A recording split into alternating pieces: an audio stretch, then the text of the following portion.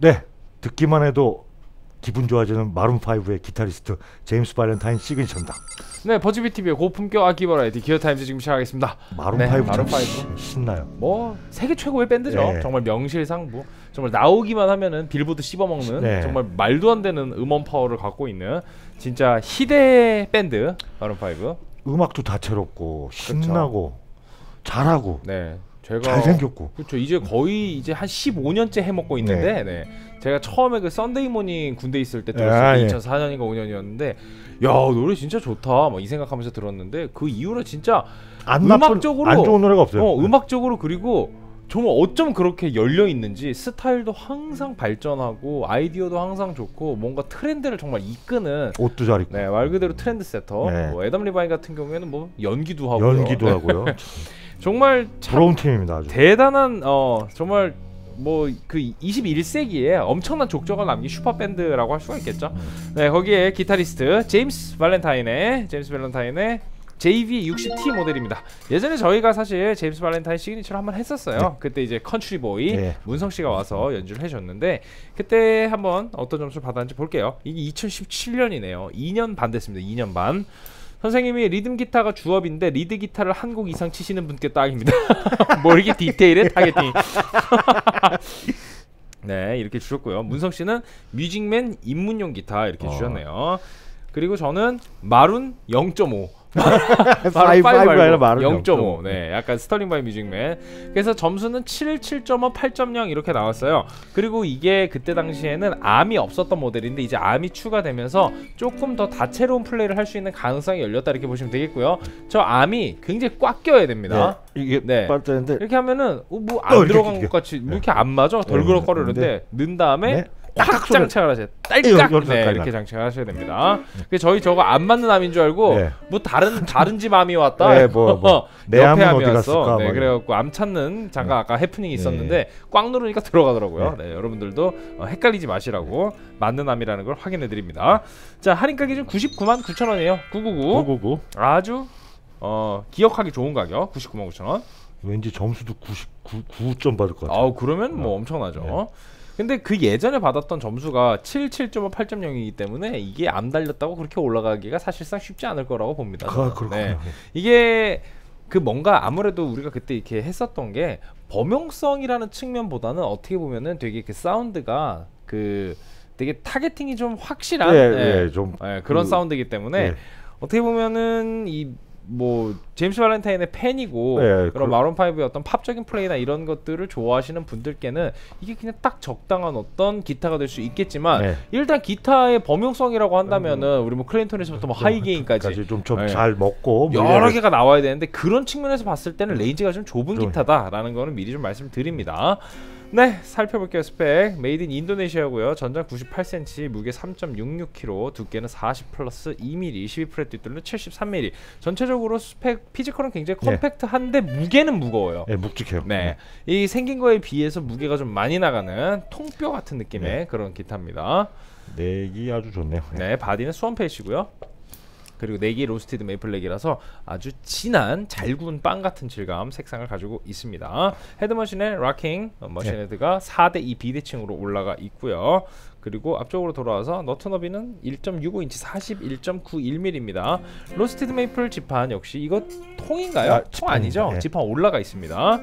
네, 그 다음에 어, 지판 곡률은 241mm, 스케일 길이는 648mm, fret은 22 narrow fret, 픽업은 single coil bridge position에 네.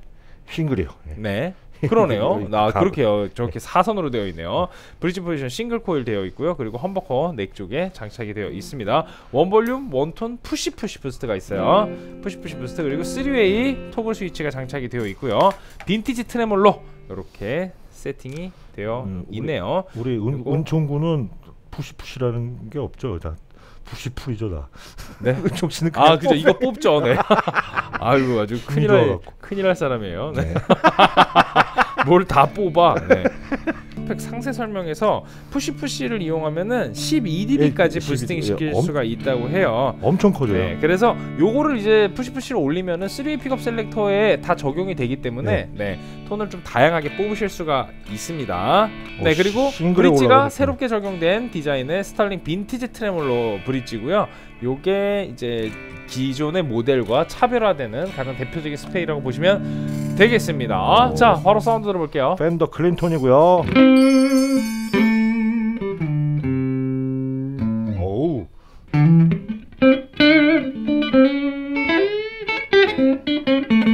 원래 설계가 잘 된 건지 스털링이 잘 만드는 건지 모르겠네요.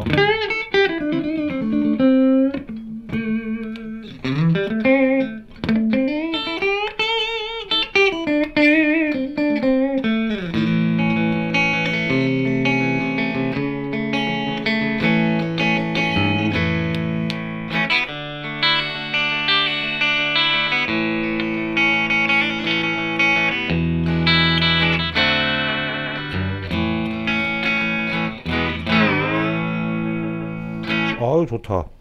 이걸 빼면 완전히 커지는. 아우! 깜짝이야. 오, 험버커는? 오, 좋습니다. 네, 개인 부스트로 좀 써야 되겠네요. 예, 써야 될 것 같습니다. 마샬이고요. 오, 좋네요. 아, 부드러워.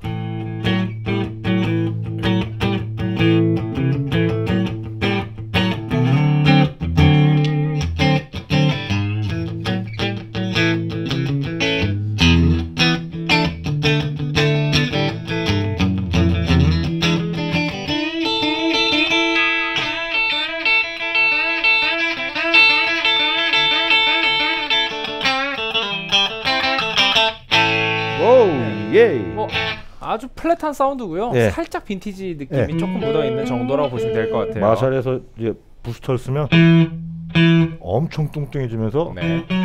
차이가 많이 나네요. 어, 엄청 차이가 많이 나네. 그렇습니다. 팬더의 레드락.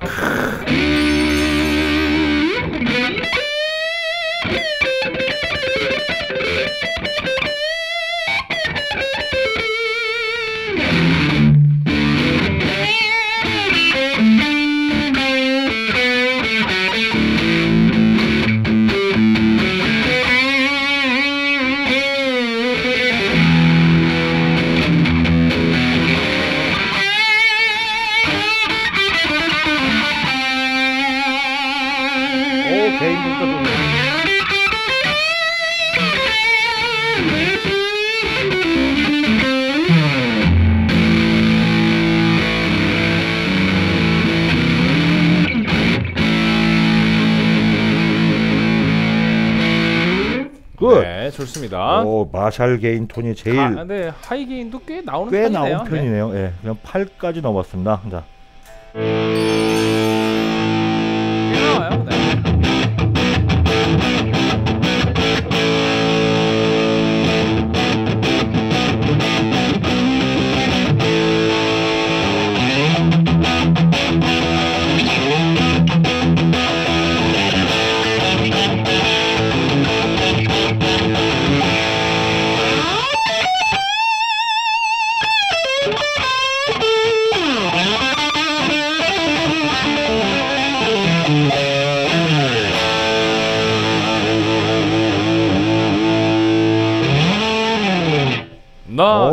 좋습니다. 잘. 들어봤습니다. 아주 좋습니다. 네, 뭐 메탈 같은 느낌의 gain은 아니고요. 네. 그냥 팝 기타의 팝딱 기타 그런 딱 느낌. 네. 자, 그러면 바로 팝적인 그런 느낌의 반주에다가 네, 사운드 들어보도록 하겠습니다.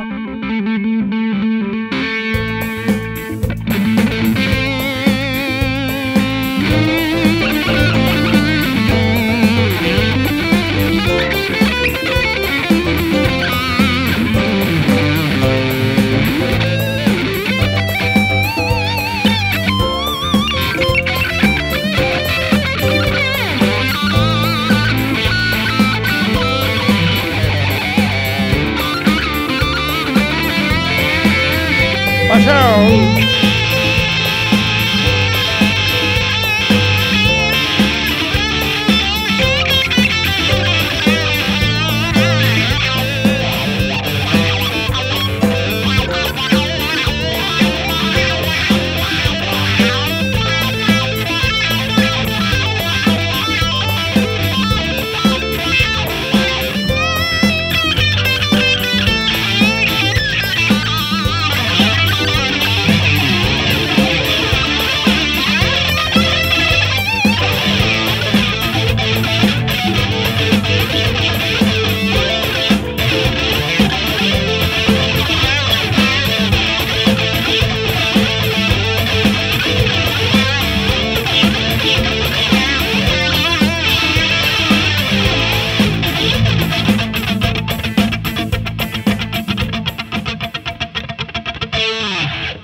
좋습니다. 오. 이런 플레이를 하기에 좋은 기타라고 볼 수가 있겠죠. 아주 좋습니다.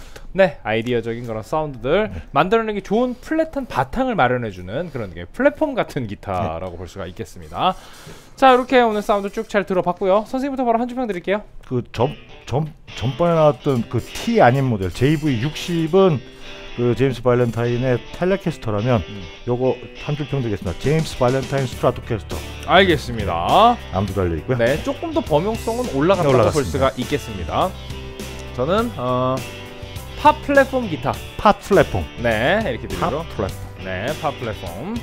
이렇게 좀 예쁜 예쁜 소리 내서 이렇게 아름다운 작곡하시는 분들 요거 그렇습니다. 아, 딱 저- 그런 저- 선생님 저딱 고운 소리 말씀하시는 이거 네. 정말 아, 팝적인 않고, 네, 예. 팝적인 사운드가 정말 딱 너무 잘 어울리는 그런 사운드예요. 과하지 않고. 예. 하지만 조금이라도 좀 공격적인 하이게인을 원하시는 분들에게는 다소 아쉬울 아쉬워요. 있어요. 좀, 좀 약간 모자란다. 네. 거기까지. 이거 괜찮 기타 괜찮습니다. 가격도 100만 99만 9천 원, 자, 몇 대? 몇? 8.5, 8.0. 8.0. 네 이렇게 나왔습니다. 어, 예전 점수에 비해서는 어, 약간 올라간 약간. 아, 한 1점 정도씩 올랐습니다.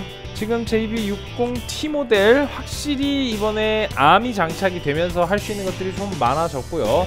사운드적으로도 어, 일반적인 기타와 좀 다른 영역대를 커버하고 있기 때문에 예, 여러분들이 하시는 음악 장르를 잘 고려해 보시고 플랫폼 기타로서 정말 네, 역할을 잘 할 수 어, 있겠다 생각하시는 분들이 가져가시면 좋을 것 같아요. 핫하고요. 네, 핫하고요. 핫하고요.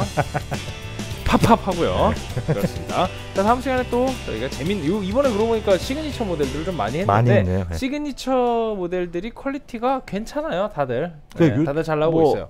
각종 각종 업체에서 나왔는데 네. 다 괜찮아요. 그리고 요새 시그니처 모델들은 signature랑 티가 많이 안 나서 안 좋아요. 나서 좋아요. 그 네. 사실 좀 남사스럽거든요. 예. 너무 시그니처 티 나면은. 또좀 그렇잖아요. 사실 마이클 쉔커 이런 거는 진짜 조금 좀, 좀 그래. 아, 그 여기다 마이크를 썰고 네 다니니까 그런 예. 느낌이니까 네. 근데 그런 진짜 말 뭔가 정말 너무 확실하게 자기의 영역을 그렇게 표시하는 기타가 아니면은 괜찮아요. 요새는 네 그 되게 좀 준수하게 예, 옵션도 좋고요. 네, 예. 시그니처 아닌 네. 것처럼 잘 나오기 때문에 부담 없이 사용하시기 좋을 것 같습니다. 그것도 좋아하지 않습니까? 그 폴스 기타 이런 거 좋잖아요. 폴스 기타 아, 아, 너무 좋죠. 좋았습니다. 네, 아, 폴스 기타 아주 좋았고요. 희한한 signature요. 네 그렇죠. 폴스 기타 좋았고요. 그리고 자 자크 마이어스 자크 마이스 네, 이거 좋습니다. 이거 좋았고요. 좋았고 이거 뭐 제임스 발렌타인은 뭐 워낙 좋았고요. 네 그렇습니다 자 앞으로도 또 재미있는 시그니처들 모아서 계속 소개해 드리는 시간 갖도록 하겠습니다 유튜브 구독과 좋아요는 저에게 큰 힘이 됩니다 기어 타임스.